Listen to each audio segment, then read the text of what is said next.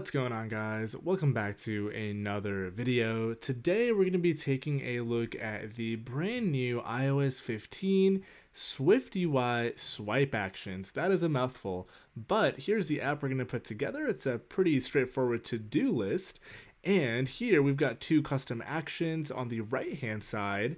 We've also got an action on the left hand side that we can do a full swipe on. So we'll talk about how to actually bring these into your view, how to configure their colors or image, their position, all that good stuff you'd expect to be able to configure, and a few other things as well. So if that sounds good, make sure you start by dropping a like down below for the YouTube algorithm. Hit subscribe if you're into iOS and want to stick around. That all said, let's get into the video. All right, let's go ahead and get started by opening up Xcode and creating a new project. Bear in mind, this is Xcode 13 beta. We're gonna go ahead and pick the app template under iOS. And let's go ahead and call these uh, call this project SwiftUI Swipe Actions. Of course, you want to make sure your language is set to Swift and your interface here is set to SwiftUI. Let's continue, save the project wherever you'd like. I'll toss it onto my desktop here. And first things first, we're going to close the attributes inspector, expand our Xcode window, and we'll change our preview device in the drop down here to a 12 Pro Max. And I'll go ahead and hit the resume button to load up our preview. Hopefully it doesn't take too, too long. And while this guy is going, let's talk about what we're going to build out. Actually, there it is. So we're going to build out a list and we're going to add some swipe gestures to those uh, list entries. So let's get into the list. So we're first going to start with a navigation view. Now this navigation view is going to have a list inside of it. We're going to go ahead and use the navigation title modifier. That's not the one we want. The navigation title modifier to go ahead and give this a title. And we're going to go ahead and give it a title of to-do list. Now for today's video, we're not going to actually focus too much on the elements inside here. We just want something in here. So I'm going to go ahead and create a array of items that we're going to put into our to-do list. So let's just go ahead and uh, put some random items in here. So I'll say get milk. Maybe I'll say go running. What else can I think of? Let's see, edits video, and so on and so forth uh, do homework. And I'll just go ahead and paste all of these a few times so we have more than uh, just four entries there. So here we have it. We've got a couple entries in our to-do list. And to actually get these to show up, we need to go ahead and do a for each over our items. Uh, where every ID is going to be self. Here we're going to go ahead and see item in, and we're going to go ahead and say that this is going to be the item. So now we should hopefully start to see a list of our to-do list items and we can get into the swipe actions. So we're going to go ahead and hit resume in our preview on the right hand side and hopefully it does what it's supposed to do. Let's try hitting try again. Sometimes there it is, preview is hit or miss. So now we want to work on the swipe actions. So those of you who don't know, swipe actions are brand new for iOS 15. So you want to go to your project settings and make sure the minimum deployment target, in fact, here is 15. And we can come back to the content view and start using the swipe action modifier. Now before we start using the swipe action modifier, let's go ahead instead of using just a text here, let's make this look a little bit nicer. So I'm going to create a horizontal stack and I'm going to go ahead and toss in an image in here as well. We'll go with like checkmark dot circle dot fill. I'm going to also go with resizable and we're going to go with a tint color of maybe blue. This way hopefully it'll look a little bit nicer. Let me go ahead and hit command B, make sure everything is still building. And let's go ahead and fix up the size of this, uh, this circle because it's obnoxious. We're going to say uh, aspect ratio is going to be uh, aspect ratio is going to be fit. That's not what I'm looking for. Let's try aspect ratio one more time. Looks like this has actually changed for uh, the SwiftUI 3 and iOS 15 updates. So I'm going to go ahead and just say scale to fit. That way it's not obnoxious. And we'll also go ahead and give it a fixed frame. So we'll also go ahead and say maybe 30 wide and we'll also go ahead and say 30 tall. Let's go ahead and hit resume, make sure that looks a little more appropriate, and then we'll talk about swipe actions. All right, so it's not blue, that's all right. We'll talk about swipe actions as soon as I adjust that.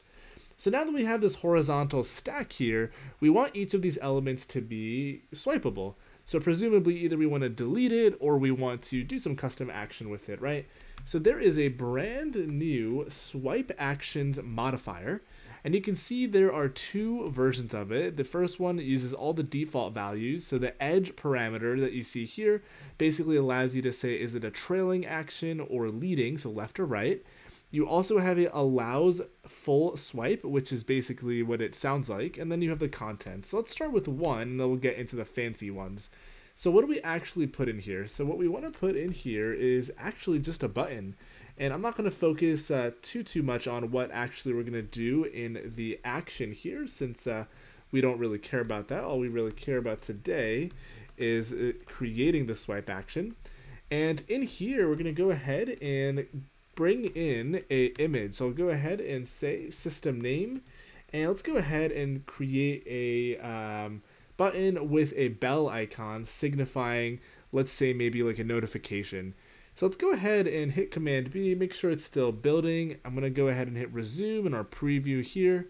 Hopefully everything's working. Now we're gonna hit the live preview button, and if you try to swipe, you'll start to see that we actually have this uh, as swipeable and it's not the easiest to see right now because the bell is actually white.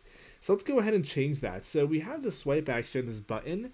I'm gonna go ahead and change its tint color to maybe be uh, yellow here. So let's go ahead and stop the live preview. We'll hit command B to build resume the preview again. Let's try that once more. So now when we swipe, it's pretty obvious we have a custom swipe action here and it is this bell and it allows us to fully swipe all the way through. That's what that full swipe argument actually means. Now the reason you won't always get this is because you can actually have multiple of these custom actions. So let's actually see that in action. So how do we add custom actions? So we can just take this swipe action and it has defaulted them to the right of the row and we'll just go ahead and copy and paste it and maybe this uh, next one here we're going to go ahead and use a trash icon with the color of red to signify the fact that users can delete the to-do list item. Presumably they've done it, so they want to get rid of it now. So let's go ahead and just start swiping, and now we can see we have the red and yellow. So the order is determined by how we put them in the swipe actions here. Fairly straightforward. Now let's get a little more interesting with it. Now, what if we also wanted to have gestures on the left hand side? How do we deal with that? What we can do is we can use another one of these uh, swipe action modifiers and we can provide the edge in here to be either trailing or leading. So let's go ahead and make a leading and we're just gonna have one in here. I'm gonna change the uh, tint color here to be purple and maybe we wanna be able to configure settings about each of our uh, to-do list entries. So I'm gonna go ahead and create a gear icon. So let's go ahead and hit Command B to build. We'll hit resume here and we'll hit the live preview button and let's see what we end up with. So we're going to go ahead and swipe this way. We have a gear icon with the purple background. And if we go ahead and swipe this way, we once again have our two other icons. So that's basically custom actions, swipe actions in a nutshell. They're fairly simple to set up. The one thing that I'll recommend here is uh, I prefer using the actual edge parameter instead of just letting it default to the trailing, which is the right hand side. Reason being is it's nice to see the explicit placement of it instead of assuming what uh, SwiftUI's defaults are. The other reason the SwiftUI defaults are tricky is because if Apple changes it next year, it's just going to randomly change on you, which I guess if you want that to happen, awesome, but most people probably don't want that to happen. Um, let's go ahead and make this look a little bit nicer because I think we can do a better job. And actually, if I put this into dark mode, you'll notice everything just looks a whole lot nicer. So let me go and throw this into dark mode and let's take a look at our final product here. So we'll go ahead and give it a run. One thing that's weird you want to be careful about actually, if you see the edge of this list, it's to the, it, there's a little bit of padding, it's to the left of the edge of the screen. So you might want to be a little careful about how it looks and feels. So I don't think it particularly looks bad, but just keep that top of mind as you go through and use these swipe actions to build out your UIs. So that is all I've got for you guys today. If you enjoyed the video, drop a like down below, smash that subscribe button, write a comment, ask any questions. If you've got video suggestions, always love hearing from you guys. Thanks again for watching. I'll see you in the next one.